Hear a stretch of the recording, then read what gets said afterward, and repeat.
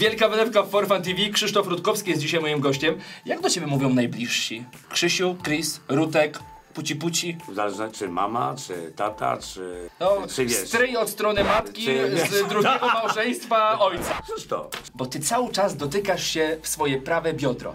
Nie. Co ty tam masz, chłopie? Nie, tam nic tam nie jest Pokaż. szczególnego. Pokaż, co tam masz. Coś takiego fajnego, co jest, wiesz, coś Czy to jest pistolet? A jak? Czy on jest prawdziwy, Krzysztof? Nie celuj, bo się mogę pomylić. How you doing, Trooper?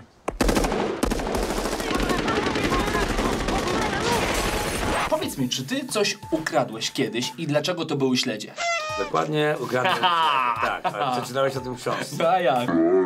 No, z kolegami ze szkoły, kiedy mieliśmy po 7 lat. Jeden podchodził z workiem na kapcie, drugi zajmował panią. Wtedy ona się odwracała, worek i no, różne, różnego rodzaju wymyślałem historyjki, podpalałem skrzynki pocztowe.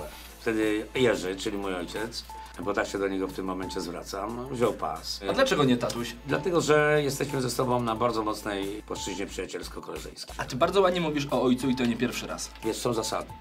To Krzysztof, jest- ja mam takie mnie, zasady. U mnie w biurze No. leży kodeks honorowy. To jest kodeks, który dostałem w prezencie od y, prezesa firmy, gdzie ścieraliśmy się podczas przejęcia telewizji. Przejąłeś telewizję? Tak, przejęliśmy telewizję. Jezu, dyktator. E, no, tak trochę. Aczkolwiek, ale, ale wiesz, ale dogadaliśmy się, że dajemy dwie ochrony. Podpisaliśmy pakt do momentu, dopóki przyjechało 30 ludzi z Juventusu, chcieli przejąć tę telewizję. Tłum wykorzystałem do ataku. Tłum. Nieładnie.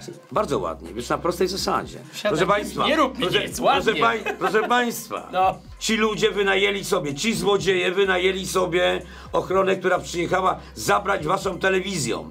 Złodzieje! I wtedy babcie No. poszły z parasolkami, rozbiliśmy system. Telewizja była nasza. Trzy, cztery. A będziesz strzelany, panie Krzysztofie. Obiecaj mi tylko jedno, że jak cię trafię, to ty mi nic nie zrobisz. No, tak, nie, tak, właśnie, Krzysiaczku, błagam! No, Broń kierowana w stronę człowieka, Ale... nawet plastikowa. Tak, dlatego do góry jest. Może okazać się prawdziwą. O!